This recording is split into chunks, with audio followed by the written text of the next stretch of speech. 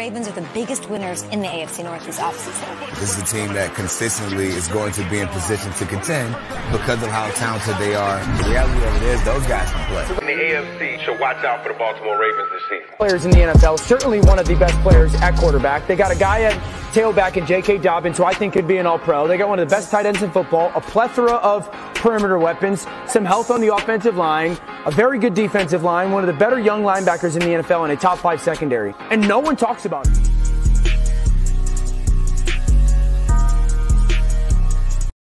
Yo, what it is? Welcome back to another episode of At the Bank, a Baltimore Ravens podcast. Doug's, you feel me, man?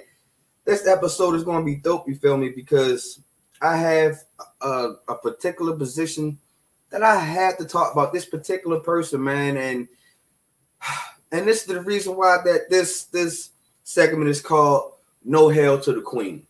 Um, as we already know that in the game of chess the queen is like the most powerful piece on the board. You feel me? And by the queen being the most powerful piece on the chessboard, so the prospect of sacrifices it invokes an imperial excitement a long chess enthusiasm. There is something satisfying about giving up the strongest piece on the board in order to checkmate the enemy's king. You feel me?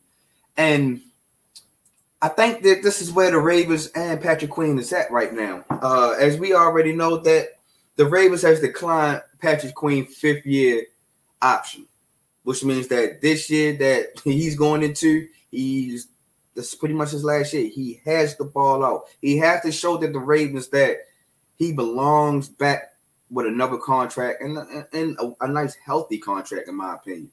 And I believe he do uh get a nice contract. I believe he do come back to the bank and play with us. You feel me? And this is one of the reasons why uh, I was a little disappointed when the Ravens had declined his fifth year option, man. Because number one, he's going into his fourth year season, his fourth year. Um, he was drafted in the first round, pick number 23 out of LSU. Um, he is a six foot, 232 pound linebacker. And like I said, uh, he's a little undersized, just a little bit, not too much, but he's he's a little undersized. But remember that Ray Lewis was drafted, and they called him undersized, and we kind of seen where that left us. Hall of Fame, baby. But before I even go deep too far down in the road uh, for Patrick Queen, let, let's let's talk about what he did previous in the last three years. You feel me? And why I believe that the Ravens should go ahead and sign back um, Patrick Queen. Um, in three seasons as Patrick Queen has played with the Ravens, he has 213 solo tackles, 108 of them was assisted. He has 10 tackles, he has five uh, fumble recoveries, and he has three interceptions. And he also led the team last year in tackles. You feel me? I understand it wasn't that high of a tackles, and he was probably ranked like maybe in the top 100 in linebackers when it comes to tackles because he only had 79 solo tackles, 38 was assisted, five sacks last year, one forced fumble, two fumble recoveries, and two interceptions. I think that Patrick Queen um is on a limbo in the Ravens' eyes.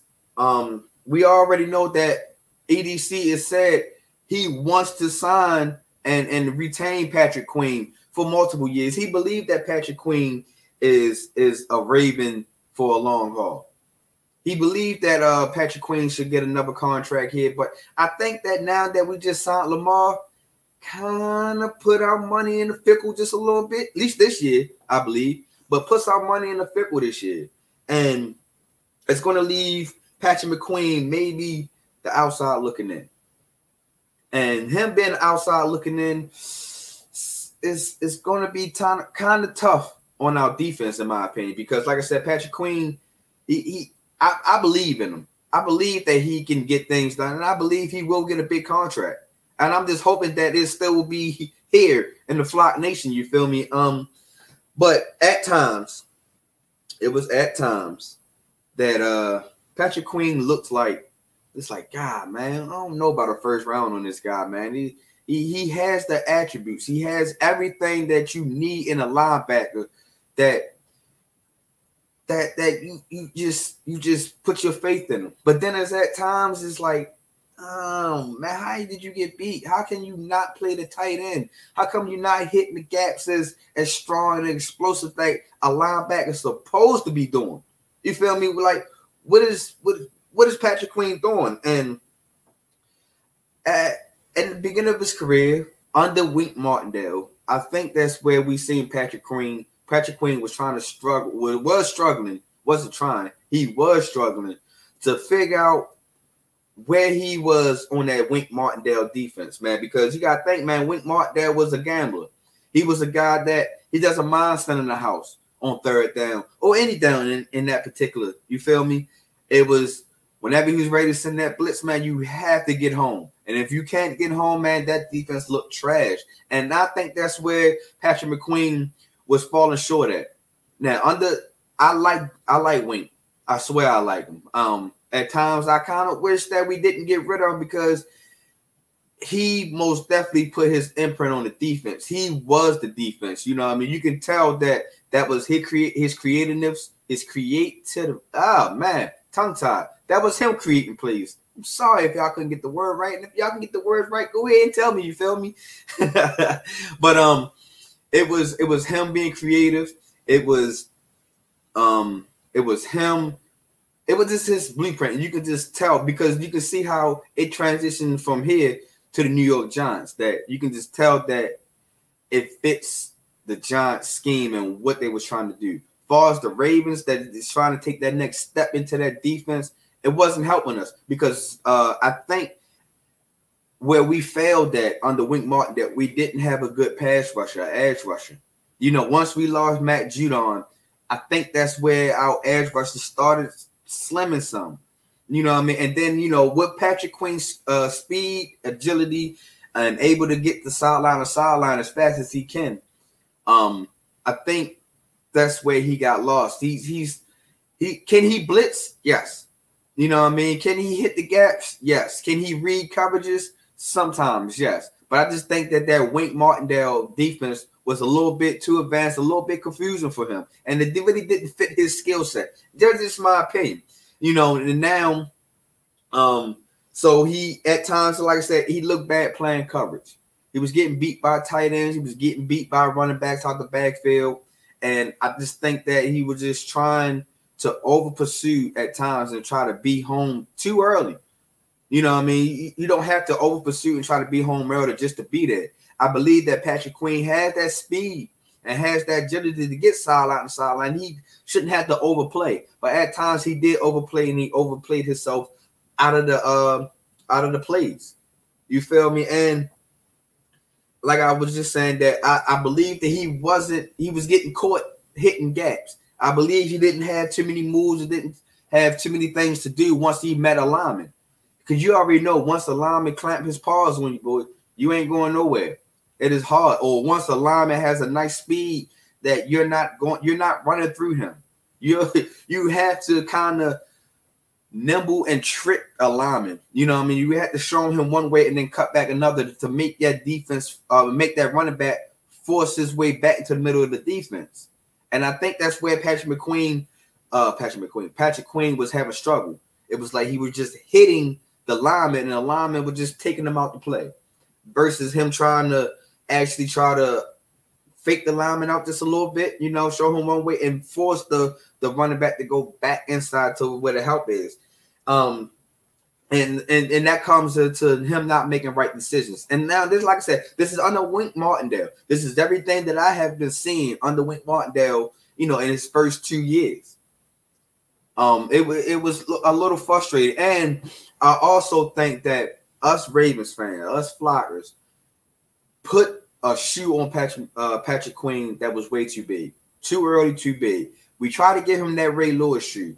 I, I feel like this is where the Ravens kind of always go wrong when we drafted linebackers is we look up to them to be a Ray Lewis replacement. You know, I mean, Ray Lewis has been gone for multiple years now, multiple years.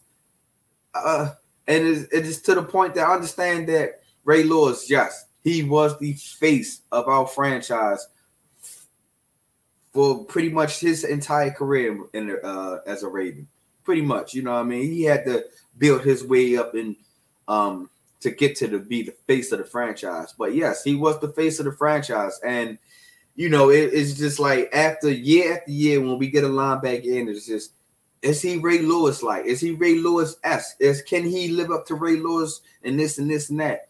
And I think that that's what Patrick Queen was trying to do, was trying to live up to a Patrick, uh, trying to live up to Ray Lewis hype, but just too early.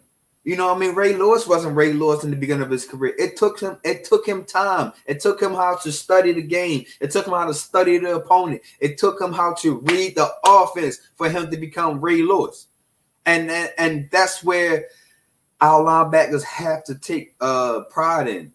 Is not trying to be Ray Lewis so early. Ray Lewis, what like I said, Ray Lewis wasn't Ray Lewis so early. So for these guys to sit here and, and, and try to put his shoes on it's not going to happen right now.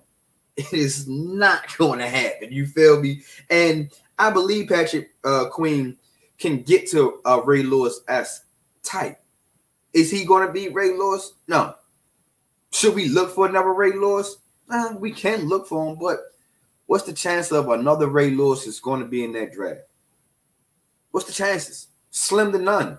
You feel me? And and and and I think that's where the Ravens going to have to kind of just lower that expectation just a little bit, just a little bit, because before Patrick Queen, we had C.J. Mosley, and I thought that C.J. Mosley was a was the perfect fit to be uh right after Ray Lewis. Perfect fit. He had the size, he had the speed. He played in Alabama where there's a pro style defense. So it was like it was easy to translate him into the um NFL into pros. But CJ Mosley was after that money. No, no shame. No shame at all. You got to get your bag while you still can. But now that CJ Mosley gone, it's like we went right back to trying to find Ray Lewis replacement. And like I said, uh, that 2000 defense would never be replaced. We will never see that again. I don't care what team it is. We will never see dominance like that again. We can come close to seeing dominance like that, but we will never see dominance like that again. So that's where us Ravens fans have to get that out of our head, man. And we, like I said, I don't want to have to lower the bar just a little bit, but that bar is set way high for any linebacker that's going to come in. Can that linebacker maybe achieve it? It's a possibility, but it's going to be tough. And like I said, that's where Patrick Queen was was trying to figure out can he meet that expectation, especially on the Wink Martindale. And in my opinion, no, he didn't. He didn't go to no Pro Bowls. He didn't. He was leading the team in tackles, but it wasn't enough for him to be looked at on the outside. You feel me? Us Ravens fans believed in him and and, and wish him the best and everything, but that was pretty much it. You feel me? And once he teamed up with Mike Macdonald, and um, Roquan Smith last year. Patrick Queen game has has took a next step. He was able to not be um, the guy that you have to look for on that defensive side because now Ro- Roquan Smith is taking that challenge. And once those two paired up, in my opinion, I believe that these two can be the best duo linebackers at NFL right now. You know, I mean, it's it's a it's a great list of line duo linebackers right now in the league. But I think this year, Patrick Queen and Roquan Smith will be the top five, top five duo linebackers. And as far as to be tackling, um, far as forced fumbles, uh, uh, fumble recoveries, all that. I, I, really can see that. And then another year under Mike Macdonald is, is going to be a, a great, a great uh, fit and a great addition to Patrick uh, Queen's resume because now Patrick Queen is comfortable. He, he knows what he's expecting Mike Macdonald. Remember, he led the team in tackles last year with 79 under Mike Macdonald. So it, it, it's painting the picture that Patrick Queen can be that guy. He can get another contract. This can be this year. He's just going to have to step up and play – hard. He gonna have to ball out this year, Doug. You feel me? You know what I mean? And I think he will ball out this year. And um, I I, I think that he will take that 79 solo tackles. I think we're going to see a triple digit out of uh, Patrick Queen this year. I think we're going to see a hundred solo tackles or a hundred plus solo tackles out of him. I believe we're going to probably get the two interceptions. He's not a big um, coverage linebacker, in my opinion. Can he play coverage linebacker? Yes, but I think his his his his best attribute is playing downhill and going at the running backs and tight ends. I, I, I just I think that's where he's going to flourish at. I think he's going to be able to now that Roquan is that is the main guy in that middle that a lot of teams is going to forget about Patrick Queen, and this is where Patrick Queen is going to get off. I think he's going to have a great season this year. I believe he's going to have something to prove. He got to have something to prove this year. You feel me? And I and he will prove it. Prove it. He, I, I, I just can see it. Cause like I said, um, he should be a Pro Bowl linebacker. He has to be a Pro Bowl linebacker. I think that's the only way he can really start uh, securing his bag is once he reached that Pro Bowl level, he got it. He has to make the Pro Bowl this year.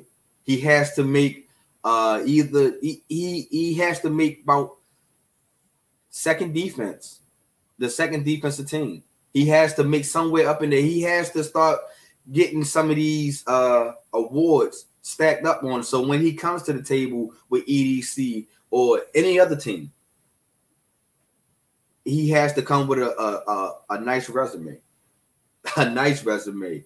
Um, so most definitely, uh, uh, Patrick Queen is is is is, is making to have a breakout year. So, um, and, and another thing about Patrick Queen, man, he's not really injury riddled. You know, he had times that he had to miss some games, been out the lineup just a little bit, and it's not a it's not a no downplay to him because it's football. It's physical. It's a physical game. I expect him to miss um, a couple of games, but this has got to be the year that he kind of can't miss no games. He he can't miss no games. He had to lead the leading tackle. He has to lead. Uh, he has to get to his first his first Pro Bowl. He has to he has to make a lot of noise this year, in my opinion. I don't think that the Ravens is asking him to make all that noise in this one particular year, but he's going to have to make some type of noise for the Ravens uh, to even look at giving him a contract. Now, like I said in the beginning, EDC said he wants to give him a contract. He is looking to give him a contract. You know what I mean? It's just right now at the time, it's just not the right time to give him that contract. You feel me? And and and, and let's talk about this this draft because I, I know a lot of people believes that the Ravens had went to the draft this year and drafted a linebacker uh, what's his name is Trenton uh, Simpson. Do I believe that Trent Simpson is Patrick Queen replacement? I'm gonna say no. I'm gonna say no. Can he be his replacement? Yes. You know what I mean? Because you already know your best ability is your availability. You feel me? So I do believe that Patrick Queen do um I'm, I'm sorry. I do believe uh Patrick Queen replacement is coming or is behind him, but I don't think he's going to get replaced. You feel me? Um Simpson, tremendous guy. Got the the freakish um uh uh freakish abilities. You know, I mean, he's he's very long, got long arms. Uh he can rush the passer. He can he most definitely can move. He can get the outside uh to the sideline to sideline. Um, I believe that he can most definitely sniff out the runs and be able to hit the runs. Now, my only thing is I have to see for him is his pass coverage. Because if he has a so-so pass coverage, then we can't really bank on him. You know what I mean? And he's been a, a rookie. I'm not going to see, I, I don't believe he's going to see a lot of field so early this year. You know what I mean? Or a, lot of field action this year. Because, like I said, it's still Patrick Queen's job it's still showing. Uh, it should it, it should light a fire under Patrick Queen, in my opinion. You know what I mean? It should give him a spot to say, no, I'm not getting replaced. This is my contract year. Nothing is getting in the way. Not a player, not a not a nothing. you feel me? And I honestly think that Simpson is not his replacement. Um, I just think that it, it's it's a draft needed. We most definitely need linebackers um underneath us. And why not go young too? If you can develop these young linebackers, um, so by time you know Roquan, and even if we do keep Patrick Queen beyond this year, it's like once these guys get older a little bit, start slowing down, you got fresh legs to come in. Or if you look at it during during the heart of the season, because you know this year is is is going to be um some miles on our some frequent fry air miles. You feel me? Because this year, just to give you a little taste, we fly to London this year. You know what I mean? So us going to London this year is is is we're going to need some fresh legs. We're going to need a lot of fresh legs going up to London and coming back from London because you got to also remember that some of these games we can have uh, a back to back Thursday night. You can have two Thursday night uh, games in the season. You don't know what network is picking up. It's, it's just a lot of things that's coming up this year as far as the um, scheduling release, and we're going to need as much fresh bodies that we can possibly carry into the season this year. So I don't think Simpson is Patrick Queen's replacement. No. Can he be? Yes. You know what I mean? That's the reason why, and, and it's best to have depth going into the season in that position anyway. Because, like I said, man, it's been a couple of years that where we was depleted in that linebacker and in that DB position. So I think that's why the this is why the Ravens went uh in depth as far as linebackers and DBs this year. So I believe Simpson do Simpson will see the field this year, but I am not saying that he is Patrick Queen's replacement. No. I think this is the year, like I said in, in the beginning, this is the year that Patrick Queen will show out. I believe this is the year that Patrick Queen will get his job done and will get his contract back at the bank this year. I believe EDC wants him. I believe that Patrick Queen wants to stay here also. You know what I mean? And let's let's let's give let's give some professional uh props to Patrick Queen, man, because when he declined his fifth year option, man, he could have asked for a trade. He could have went to social media and say, "I want this to happen. I need this to happen," or anything in that nature. Now, so far, so good. It looked like he's all about the grind. He's all about putting into that work. He's all about getting better this year.